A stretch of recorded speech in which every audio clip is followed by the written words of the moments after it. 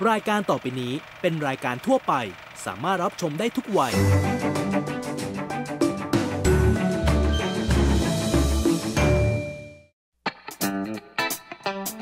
รุ่นพิเศษ Isuzu Mu X The Iconic เอกลักษณ์แห่งเอกสิทธิ์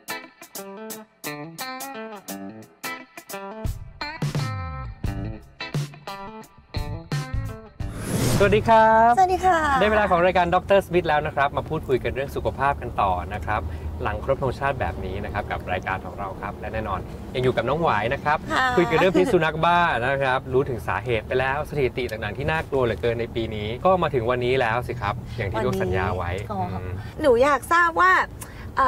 เราทราบสาเหตุแล้วเนี่ยค่ะสำหรับวันนี้หนูอยากทราบว่าอาการของโรคนี้เนี่ยอาการเป็เป็นนยัยังงไงไงบ้าง เป็นคำถามที่ดีครับ ถ้าเมื่อไหร่เรารู้สึกว่าสัตว์เนี่ยป่วยโดยเฉพาะสัตว์เลี้ยงในบ้านของเราหรือสัตว์ที่อยู่ละแวกใกล้เคียงเนี่ยนะเราต้องรีบโทรแจ้งผู้เกี่ยวข้องให้มารีบจัดการ ส่วนอาการจะเป็นยังไงได้บ้างเนี่ยมีกี่ระยะและลักษณะเนี่ยพบได้หลายแบบนะครับ เราไปดูพร้อม ๆ กันดีกว่าครับว่าอาการแบบไหนนะครับเราต้องจัดการยังไงบ้างครับ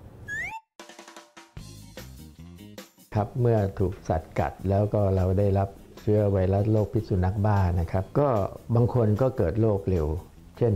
อย่างเร็วก็ 4 วันก็ปรากฏอาการแล้ว บางคนก็นานเป็นปีกว่าจะปรากฏอาการ แต่โดยเฉลี่ยก็ประมาณ 3 สัปดาห์ถึง 4 เดือน ซึ่งเราเรียกว่าเป็นระยะฟักตัวนะครับพอพ้นระยะฟักตัวนี้แล้วก็ก็จะเกิดอาการขึ้น อาการเริ่มแรกนี้คล้ายๆ ไข้หวัดใหญ่มาก ก็คือมีไข้สูง ปวดศีรษะ เบื่ออาหารคลื่นไส้อ่อนเพลียไม่ค่อยมีแรง จากนั้นก็จะ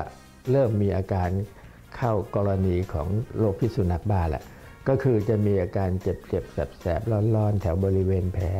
แล้วก็มีอาการคัน บางบางครั้งก็จะคันมาก ผู้ป่วยก็จะเกาจนกระทั่งเลือดออก ซึ่งอาจจะมีการติดเชื้ออื่นตามมาที่หลังก็ได้นะครับ ต่อจากนั้นผู้ป่วยก็จะ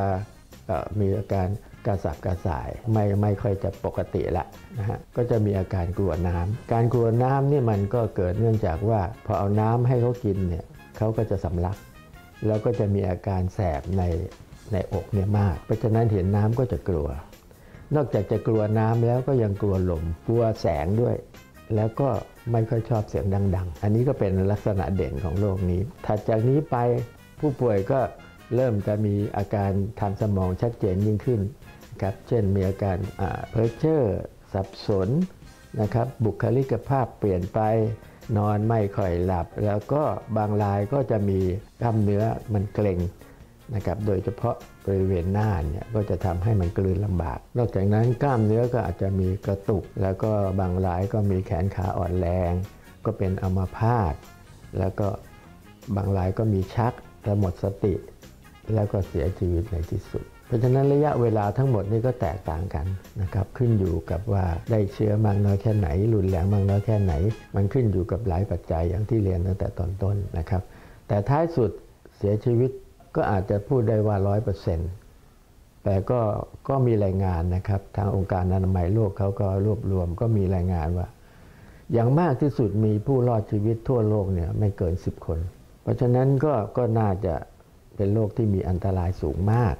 นะครับทราบถึงอาการไปแล้วนะครับ แน่นอนโรคนี้อย่างที่ได้เกริ่นเอาไว้ เมื่อวานนี้ว่ารักษาไม่หายนะครับ ดังนั้นเราเน้นที่การป้องกันไว้ก่อนเลย ค่ะ วันพรุ่งนี้จะนำมาฝากกันนะครับ ว่าการป้องกันพิษสุนัขบ้าเนี่ยทำได้อย่างไรบ้าง ต้องติดตามกับดรสมิธวันพรุ่งนี้นะครับ วันนี้ลาไปก่อนครับ สวัสดีครับ สวัสดีค่ะ